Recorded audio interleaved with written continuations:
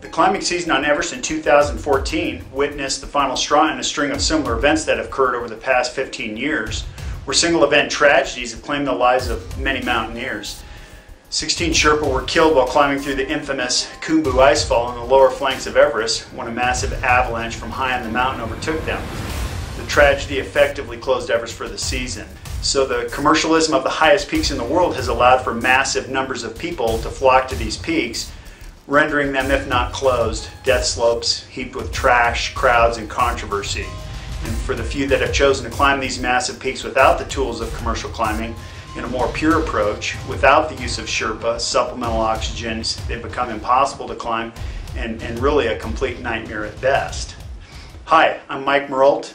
I'm a film producer and high altitude skier, along with my twin brother Steve Marolt and lifelong buddy Jim Gile.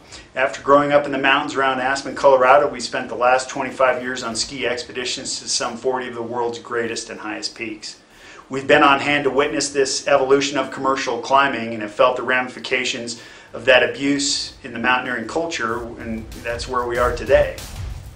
Beyond Skiing Everest is a film that discusses some of these issues from our perspective. Next question is, well, why is this important?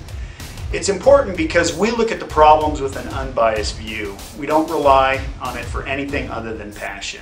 But Beyond Skiing Everest is not just a take on the state of mountaineering in the highest peaks. You know, from our perspective, Everest and the peaks we once only dreamed about, they're just no longer desirable. So then the next question becomes, well, what do you do about it?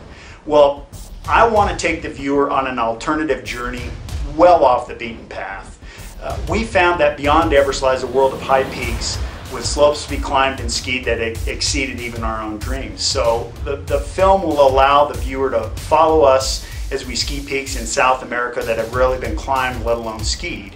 You know, I want to show off massive peaks in Tibet and China where the only people for miles are Buddhist monks and nuns and, and the yak herders living off the land. I want to show these incredible cultures virtually untouched by Western culture. I want to take the viewer to the exact opposite uh, direction from, from where everybody goes to Everest. And I want to follow this group on our four year journey as we attempt to become the first people ever to ski from above 7,000 meters in the winter.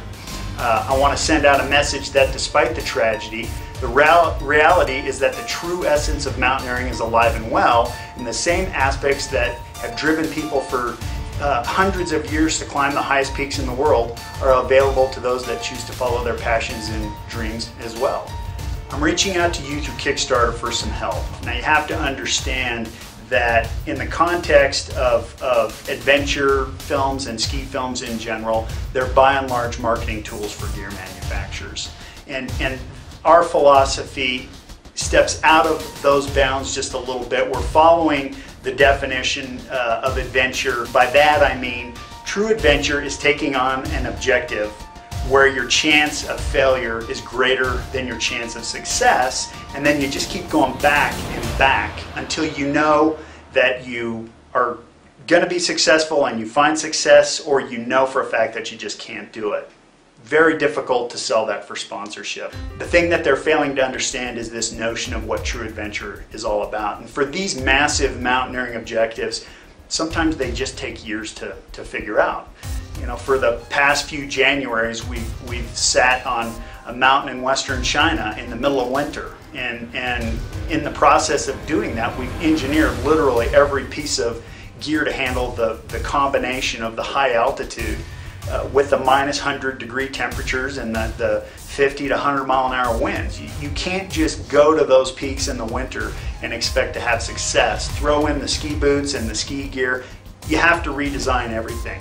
In short, we've gained the experience to understand how to climb and ski as well as survive in conditions that no skier or climber in history has experienced. So I'm asking you to get on our team, be part of our historic expedition, but also an incredibly and uh, incredible and totally unique film project. As well, I'm trying to raise the, the final bits and bobs of money to complete the production to, to bring all the expeditions together into one final piece that will be both uh, you know, in my view, extremely informative, but also entertaining and inspire people. You know, just because Everest is closed doesn't mean that the, the dream has to die.